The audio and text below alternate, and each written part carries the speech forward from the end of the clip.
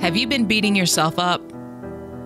I had the realization this week that since I haven't had anyone beating me up on the mat for two months, I've started beating myself up. A very minor bump in the road with a client turned into a major crisis in confidence for me. I fell into the dreaded downward spiral. If you haven't heard episode 7 on the downward spiral, listen to that next. Until this week, I was unaware how much better I had become at setting boundaries and clear expectations and going after what I wanted off the mat because I was physically doing it on the mat, or at least trying, a few times a week. It was becoming ingrained in me, and I carried that behavior and confidence off the mat out into the world with me. I didn't even know that I was beating myself up until a friend brought it to my attention.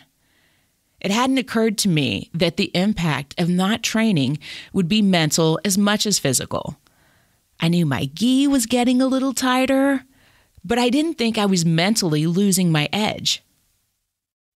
If you find that you've started beating yourself up, stop it right now. Now I'm aware of what's going on in my head, and since I know better, I'm changing it. Today, I'm creating my game plan for how I'm going to move through next week. There will be conversations about boundaries and expectations.